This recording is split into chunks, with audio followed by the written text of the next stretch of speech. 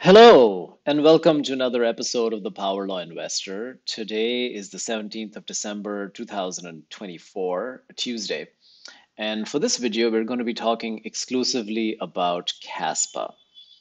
And what I want to show you guys is some of the work that I've been done in trying to extend the power law into dealing with some of the changes in the Kaspa protocol that have taken place particularly the introduction of KRC20 memes in on September 15th and how that has thrown off the power law and my efforts to compensate for that.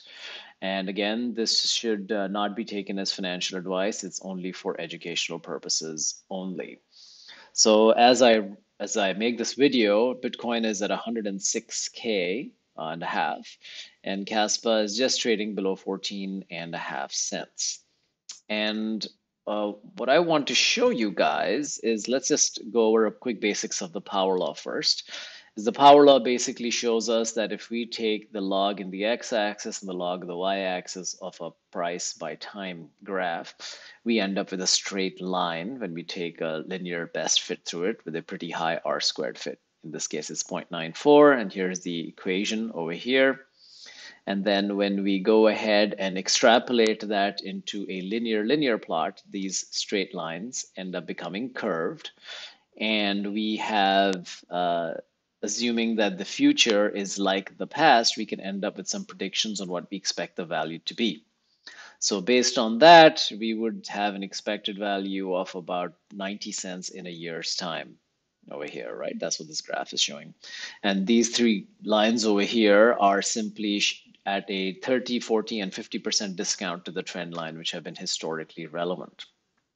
Now, what happened in September 15th? Let's bring up the plot over here. I think it was, here we go, this one here. Uh, let's jump in this one over here. Right, so before September 15th, if we look back over here, we'll see that the number of, adjust so, we'll see that the actual number of fees that were taking place in terms of Kaspa were pretty low. All right, and then from September 15th onwards, we started having a lot more fees. And let's just zoom in into that. Let's call it three months and we can look at it in the log log plot over here. So you can see that these fees, which were near zero, now are half a million, 75K, up to 25 million in certain cases, and then 2.6 million and so forth. So these are because there's a lot of meme coins being traded across the Kaspa network, and the miners are now getting additional fees because there's a fee paid for these transactions that are taking place and when minting is taking place, etc. Right. So what that did was miners, which were first getting a lot lower fees, right? Just the fees bouncing around over here in terms of the Kaspa that they were getting, are now getting a lot more.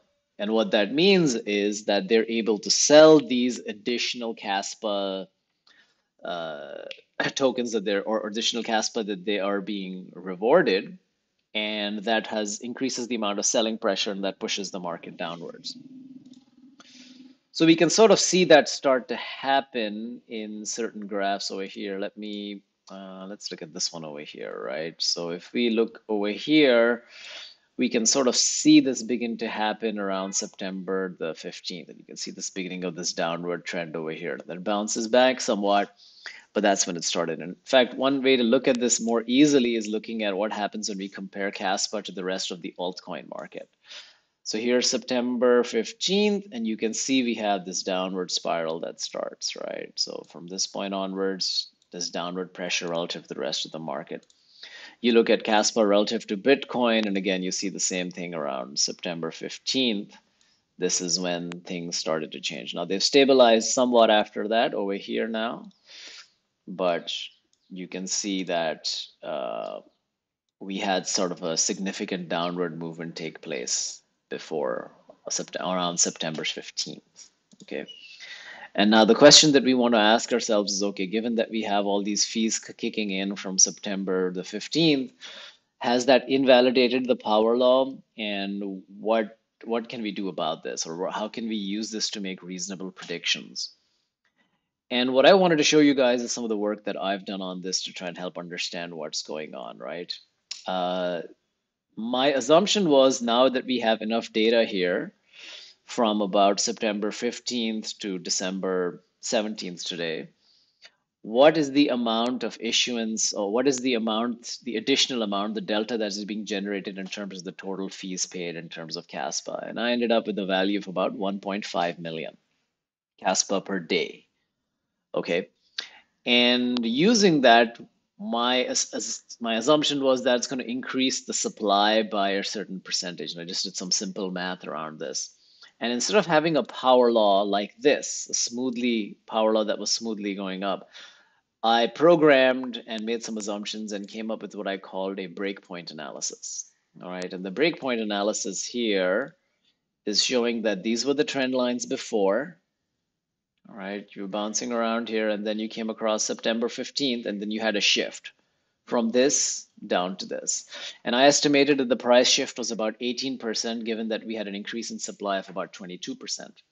Now, how did the 22% come about? Well, it's looking at the average daily issuance, which was about 7 million or so now, and looking at what percentage increase we would have with about a 1.5 million Kaspa increase. So if you just want to do simple math, if it was 1.4, it would be about 22%. So it's a little bit above 22%. So it's a little about 20 above 22%, 22%, right? And then what I did was I assumed that we would just be able to, to shift everything down and the underlying trends would continue. Now, is that a safe assumption? I don't think it's a bad assumption, uh, and it is maybe simplifying things quite a bit, but let's assume for a minute that's what's happening. And of course, there could be some variation here because the supply is not constant. And many of you will be able to find uh, easy ways to nitpick about it, like, oh, it could be done better this way, it could be done better that way. But this is just my way of looking at it without spending too much time getting into the weeds of understanding what could happen, right? And so let's look at the overall assumptions, right? The overall assumption is before we were looking at a trend value today of about uh, before it would be 30 cents. We're now looking at a trend value of about 25 cents. Okay, so we've had a price shift of about 20% down. And the estimated return now with this break is about 74 cents in a year's time, whereas before it was more like 90 cents. All right, and so the expected return has gone down from 503% down to about 400%. So that's still a pretty good return, but it's less than what it was before. But I did want to highlight a couple of interesting things to you guys about this sort of analysis, right? And the analysis is that if you take this to be true, the kind of analysis that I've done is roughly correct. In the past, we've discussed how in the worst case scenario, we've hit about a minus 50% drawdown from the from the trend line, and then we've bounced off that. Now, the 50% always seemed a little arbitrary to me, but when I did this analysis, I was kind of surprised to see that even with the prices in November 4th and November 3rd, in which we dropped down almost to 10 cents, a little bit below, we essentially went down to the adjusted, what I'm calling the break adjusted minus 50% line. So before the minus 50% line was here, it now drops down to here. So from the purple, it becomes the orange, the green becomes the purple, and the light green becomes the light purple, right? So you can see what these different legends are. So everything has been downshifted. The reason why I think this is pretty powerful is because it gives an approximation as to what is actually going on with the market right now. And why do we have the power law taking place? Well, it's a mixture of what's going on with the miners, the minimum price that the miners are able to sell at.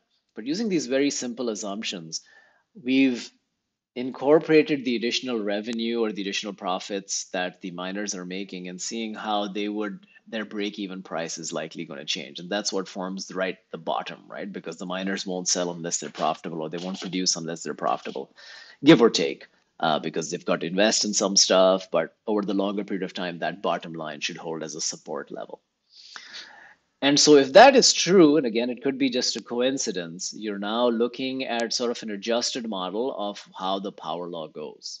right? And what is that saying? Typically, between the minus 40 and minus 50% uh, below the trend line is a good place to buy. So, if we use that and we use today's values, we'll see that we're looking at December the 17th, anything below about 15.2 cents to between 12.6 cents or so is a pretty good time to be buying. It seems unlikely to dip below that. Now, could it dip below that? Yes. But what I'm saying with the simple adjustment that we've made, we're still able to see that Kaspa is following these dynamics of this power law, right? And could there be other complicating factors? There could be. But for now, at least for me, this gives me a lot more confidence in buying opportunities for Kaspa below 15 and a half cents and you know 12 and a half cents so those would be good times to buy and as we looked at it earlier today we're now trading at about 14 and a half cents let's just refresh this so that's likely going to be a pretty good time and a good price point to buy of course it could drop down further but based on this analysis that we're doing over here that should provide reasonable returns and those reasonable returns are in the region of about 400 percent because when we ask ourselves, why is Kaspa so unique along with Bitcoin? Yes, it's a proof of work, but there is some sort of organic growth taking place, organic interplay between the demand and the supply. And even with the KRC20 memes, yeah, we may have a shift, but I don't think the underlying demand supply dynamics have broken down completely. So this is my way of quantifying some of the action that we've been seeing. I don't think there's any reason to panic. And in this channel, we continue to buy buy on a daily uh, daily cost average into buying Kaspa and Bitcoin, which are power law assets. And uh, for those of us that are looking for a little more quantitative reassurance, I've kept it very simple here. There are, of course, many sophisticated ways of doing this, but basically saying, look, there's the additional of 1.5 million Kaspa of the supply going to the miners every day. How is that likely going to increase price? Well, when supply goes up, price is going to go down how much is the price going to go down? You increase the supply of about 20%, price goes down by about 20% more or less. And how is that going to change the underlying power law? Uh, so this is what we're looking at. Wanted to share this with you guys. And of course, as always, um, like and subscribe and share with your friends and leave your comments down below so maybe I can clarify some concepts uh, further. Looking forward to them. Thanks a lot.